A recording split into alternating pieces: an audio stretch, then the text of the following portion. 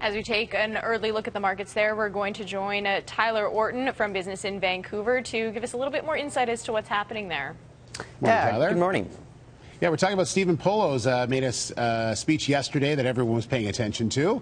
Yeah, absolutely. I mean, there's been a lot of questions the past nine months about the Bank of Canada's economic policies. And look, we were the only G7 country to cut our benchmark rate twice since the beginning of the year in the wake of low oil prices and uh, dropping commodity prices as well. So, you know, the Bank of Canada's governor, he was in Calgary yesterday trying to clarify a lot of these economic policies going forward. And he says, look, you know, there's not a lot we can do about uh, these resource price shocks except for the economic policy that comes in the wake of this. So really, we see the benchmark rate being cut, and this impacts everything from uh, consumer uh, interest rates on loans to the value of the dollar. And the value of the dollar, it's gone from about 91 cents a year ago, and it's right now around 75 cents. And that's having an impact on uh, exports, and uh, that's what Stephen Poloz is getting at, you know, is that, you know, exports are now starting to gain ground here in Canada as we're dealing with a reduced national income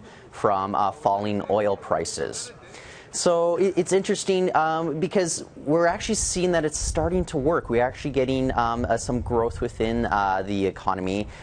We, we know last, uh, the first half of this year, of course, we uh, are all talking about Canada falling into a mild recession. But in June, the last month, that was reported, uh, you know, there was some economic growth. So the real litmus test is going to come next week when Stats Canada releases new GDP numbers. And we're going to see how much growth, if any, but most economists are assuming there's going to be continued growth in July. So we're really going to see how the Bank of Canada's economic policies have been working for the country as we're dealing with reduced national income from lower oil prices here.